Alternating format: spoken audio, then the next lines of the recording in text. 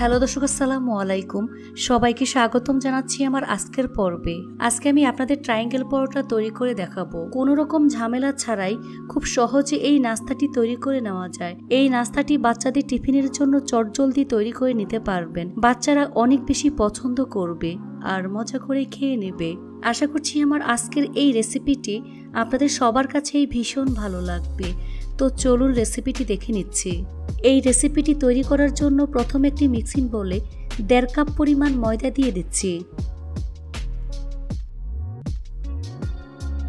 স্বাদ মতো লবণ দিয়ে দিচ্ছি। দুই চিমটি পরিমাণ হলুদের গুঁড়া দিয়ে দিচ্ছি। আপনারা চাইলে হলুদটা স্কিপ করতে পারেন। দুই টেবিল চামচ পরিমাণ ধনিয়া পাতা কুচি দিয়ে দিচ্ছি। দুই চা চামচ পরিমাণ সয়াবিন তেল দিয়ে দিচ্ছি। এবার সবগুলো উপকরণ খুব ভালো করে মিশিয়ে নিতে হবে। হাত দিয়ে খুব ভালো করে ঘষে ঘষে তেল ময়দার সাথে মিশিয়ে নিতে হবে। এতে করে নাস্তাটা পারফেক্ট হবে আর খেতেও অনেক ভালো লাগবে।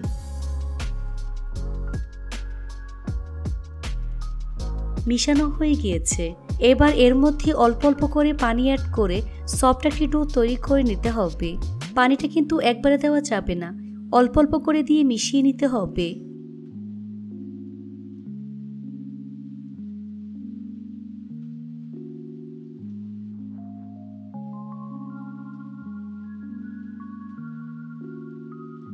ডোটা মাখানো হয়ে গিয়েছে।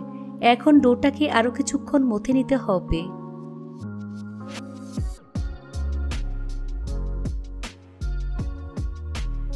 এখন এর মধ্যে সামান্য পরিমাণ তেল মেখে নিচ্ছি। তারপর ঢাকনা দিয়ে ঢেকে রেখে দেব বিশ মিনিটের জন্য। এবার অন্য একটি মিক্সিং বলে প্রায় এক কাপ পরিমাণ পেঁয়াজ কুচি দিয়ে দিচ্ছি। দিয়ে দিচ্ছি প্রায় হাফ কাপ পরিমাণ গাজর কুচি। দেড় টেবিল চামচ পরিমাণ আদা রসুন কুচি দিয়ে দিচ্ছি। চার থেকে পাঁচটি কাঁচামরিচ কুচি দিয়ে দিচ্ছি। কোয়াটার চা চামচ পরিমাণ কাশ্মীরি লাল মরিচের গুঁড়া দিয়ে দিচ্ছি। কোয়াটার চা চামচ পরিমাণ চাট মশলা দিয়ে দিচ্ছি। কোয়াটার চা চামচ পরিমাণ ভাজা জিরার গুঁড়া। স্বাদ মতো লবণ দিয়ে দিচ্ছি। এক টেবিল চামচ পরিমাণ ধনিয়া পাতা কুচি দিয়ে দিচ্ছি। এখন সবগুলো উপকরণ একসাথে খুব ভালো করে মিশিয়ে নিতে হবে।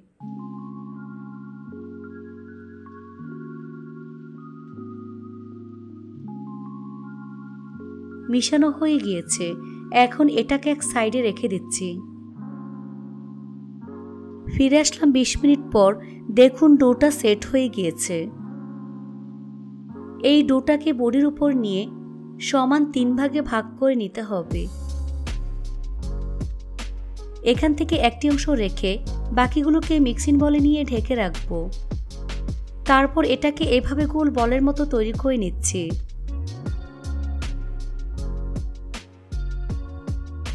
এবার এর মধ্যে সামান্য পরিমাণ ময়দা ছিটিয়ে মোটামুটি পাতলা একটি রুটি তৈরি করে নিতে হবে। তবে খুব বেশি পাতলা করা যাবে না, আবার মোটাও করা যাবে না।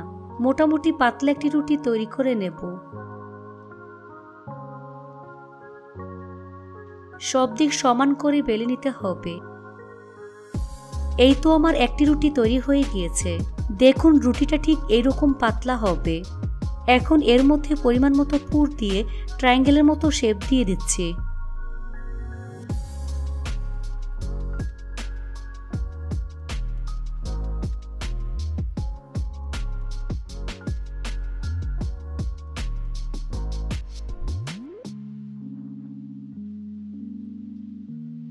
উপরে চেপে সমান করে দিতে হবে।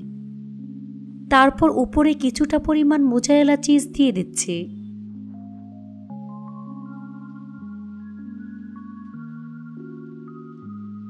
এবার এভাবে ভাস করে ট্রায়াঙ্গেলের মতো শেপ দিয়ে দেব। এখন রুটির সাইডে পানি লাগিয়ে নিচ্ছে। তারপর দুই পাশ থেকে ভাস করে দেব। হাত দিয়ে এভাবে চেপে চেপে সিল করে দিতে হবে। এতে করে ভাজার সময় খুলে যাবে না।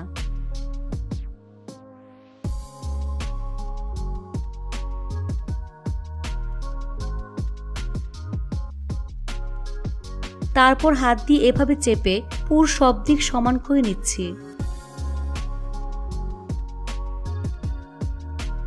এই তো আমার একটি পরোটা তৈরি হয়ে গিয়েছে। একইভাবে আরও একটি নাস্তা তৈরি করে আপনাদের দেখিয়ে দিচ্ছি।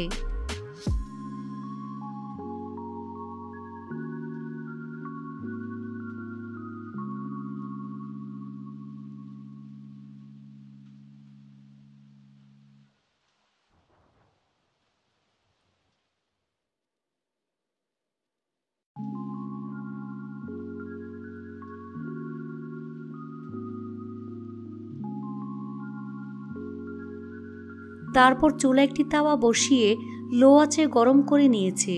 এখন এর মধ্যে একটি পরোটা দিয়ে দিচ্ছে। চুলারাস মিডিয়াম টু লো হিটের মাঝামাঝি রেখে এই পরোটা ভেজে নিতে হবে। নিচের পাশ হালকা হয়ে আসলে উল্টে দিচ্ছে। এভাবে কিছুক্ষণ পরপর উল্টে পাল্টে গোল্ডেন ব্রাউন কালার করে ভেজে নিতে হবে। পরোটার দুই পাশ যখন মোটামুটি হয়ে যাবে, তখন পরোটার উপর ঘি ব্রাশ করে নিচ্ছি। তারপর উল্টে পাল্টে নাস্তাটি গোল্ডেন ব্রাউন কালার করে ভেজে নিতে হবে। পরোটার এই পাশেও ঘি ব্রাশ করে নিচ্ছে। এখন উল্টে পাল্টে গোল্ডেন ব্রাউন করে ভেজে নেব।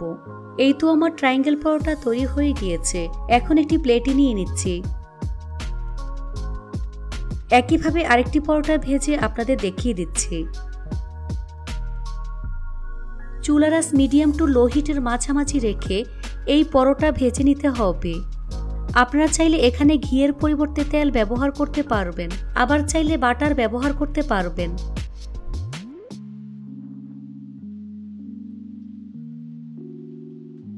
এই পরোটাও আমি একইভাবে ভেজে নিয়েছি, এখন প্লেটে নিয়ে নিচ্ছি। এভাবে আমি তিনটি পরোটা ভেজে নিয়েছি। দেখুন মাশাল্লাহ দেখতে কতটা সুন্দর ও কতটা লোভনীয় হয়েছে। খেতে কিন্তু অসম্ভব মজার হয়েছে। এভাবে একবার হলেও তৈরি করে দেখবেন। আশা করছি আপনাদের কাছে ভীষণ ভালো লাগবে। এই পরোটা বাচ্চাদের টিফিনের জন্য ঝটপট বানিয়ে নিতে পারবেন। বাচ্চারা অনেক বেশি পছন্দ করবে আর মজা করে খেয়ে নেবে।